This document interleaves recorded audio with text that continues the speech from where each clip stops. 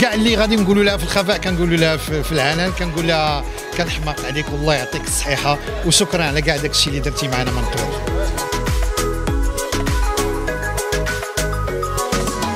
لأنه نعرضهم. من أجل أنه يتنشروا لعباد الله أنهم حتى هما يديروا. حنا الآن مع الأسف إلا كيقول لك دير الخير وخبيه لا الخير أيضا تنشروا باش تولي إحنا قدوة. يجب أن الناس يديروا بحالنا. بيان سور هذاك الشيء بالقلب بيننا وبين الله. ولكن الناس خصهم يديروا أشياء زوينة ما يبقاوش غير يلبسوا يدوزوا حدا المهرجان